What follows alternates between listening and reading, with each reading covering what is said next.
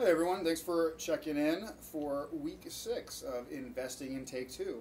Uh, quick recap I invested just over a $1,000, which came out to eight shares in Take Two, and we're just following the market as it goes. I'm going to be doing this for 90 days. Uh, once that 90 days is up, I will most likely be getting into some day trading with this same stock. See how that goes. Anyway, let's get right on into it. See how this last week last week has progressed. So on Tuesday, we had a low of 127.77 and a high of $131 even. That gives us a daily range on Tuesday of $3.23. On Wednesday, we had a low of 127.20 and a high of 130.41 and a range of $3.41. So the largest range of the day was on Wednesday. Thursday, we had a low of $130.50 and a high of $132.31. So that gives us a daily range of $1.81. Uh, the lowest range of a day, but the most stable of days through the week. Uh, on to Friday, right before the weekend, we had a low of 129.70 and a high of 131.92 uh, with a range of $2.22. It's always good to see the stock going up before the weekend hits.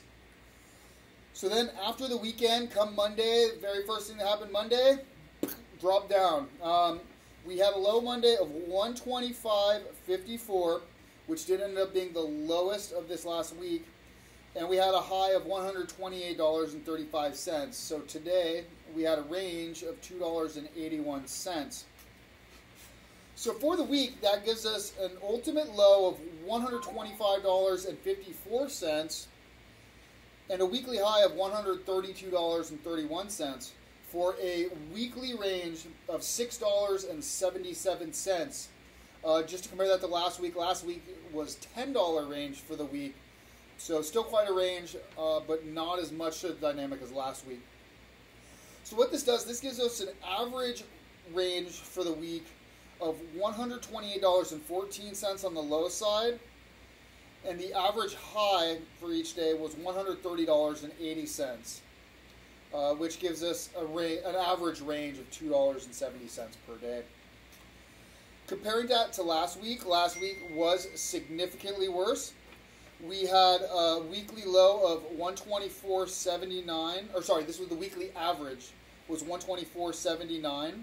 So this week we're up $3.35 as an average. Uh, as well, the last week's average high was $128.57. This week's we're at $130.80. So we are $2.23 higher uh, as the average high. Uh, the cool thing is that means our, our weekly range, good thing for uh, long-time investors, not so much for the day traders, our weekly range came down a dollar and eight cents. So last week it was a three dollars seventy eight cent average range. This week's only two dollars and seventy cents. So it, it, would appear that there's a lot more consumer confidence, a lot more investor confidence rather this week. Uh, but uh, as I stated, Borderlands 3 did come out.